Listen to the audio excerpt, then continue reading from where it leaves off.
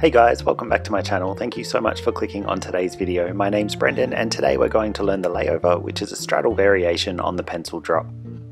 I think this drop looks quite impressive and it's a lot of fun to do, but it's definitely one I need to psych myself up for. A few of you guys have said that a section on common errors or things to avoid would be helpful, so make sure you stick around to the end for that. Alright, let's get started, and remember, you've got this. You need a fair amount of height for this drop, so make sure you're at least 3 meters up before inverting. With the fabric on your right side, invert and hook your right knee. Let go of the silk with your left hand, reaching overhead, bring the silks down to your low back before wrapping over your left knee twice and around your low back once. Lay the silk over your left shoulder and then move both legs to the opposite side of the silk. Bring the tail end out in front of you and then pull it tight. When you're ready to drop, extend your hips and arch back, keeping a tight hold of the tail end of the fabric. Try to keep your legs as straight as possible. To exit, sit up and then climb up the pole end of the silk until the fabrics unravel from your legs before coming back to a climb.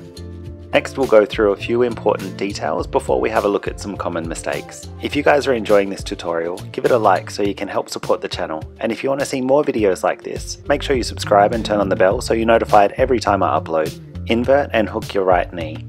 With your left hand, make sure you're reaching overhead to find the silk as it makes it easier to get it in the right position. Once you've done the first wrap of your knee, you can let go of the pole end with your right hand and hold on to the tail end. This allows you to keep the wraps high on your thigh as you do the second wrap with your left hand. Wrap the silks over your hip bones and around your low back as you circle it around your body. This keeps the wraps neat and tight.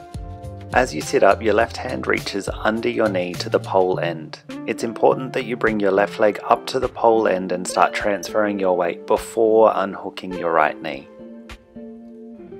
Psych yourself up and when you're ready to drop, extend and arch away. Hooking your leg on the pole end of the silks can make it a little bit easier when you're ready to climb up and exit. Next up I'm going to cover a couple of common mistakes. I'm demonstrating these from the ground for safety reasons. Loose or low wraps. This is more common when using only the left hand to do the double knee wraps. These wraps should be as high up on the thigh as possible.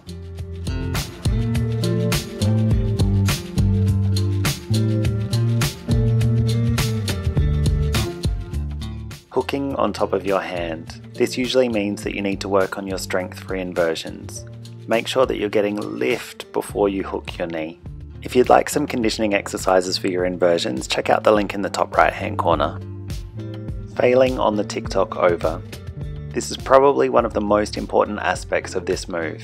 If you fail to transfer your weight, you can get stuck on the silks, especially if you don't have enough strength to re-invert and undo the wraps.